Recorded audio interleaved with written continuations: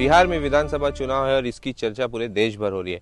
मगर बिहार के युवा क्या सोचते हैं इन चुनाव के बारे में? उनके क्या मुद्दे हैं? वो किस वो, मुद्दे पर वोट देने वाले आइए उनसे ही जानते हैं। आप बताइए बिहार में आपको क्या समस्या है और आप किस मुद्दों पर वोट देंगे? विकास बिहार में तो विकास होना बहुत ही ज़रूरी है।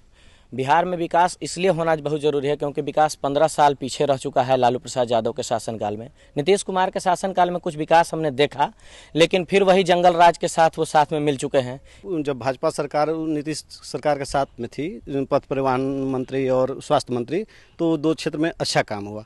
लालू प्रसाद यादव जी के शासनकाल में बहुत मतलब कांड होते रहते थे। मनुष्यों को मारा जाता था बकरी की तरह। और इसलिए हम चाहते हैं कि फिर से स्वतंत्र जिए निडर जिए। यहाँ का जो भी पढ़ा लिखाई पढ़ने पढ़ाई में इच्छुक है या मजदूरा वर्ग है उसको यहाँ पे रोज़गार नहीं मिल पाता है या उसको शोषण किया जाता है।